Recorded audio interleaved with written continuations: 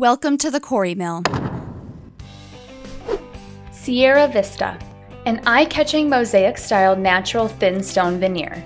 The stone's colors consist of shades of browns, tans, golds, grays, and blacks. Sierra Vista is a natural blend of stones that all come from the same mountain. Each color is quarried at a different elevation. The mineral compositions change at varying elevations, which gives the stones their colors. The stone will be delivered on a pallet like the one shown here, with seven layers containing 100 square feet of individual stones. Each single piece of premium quality stone is approximately one inch thick and the back is sun with a diamond blade. If you have been hiking in the mountains, you may have noticed the rocks you walk on change colors as you get higher.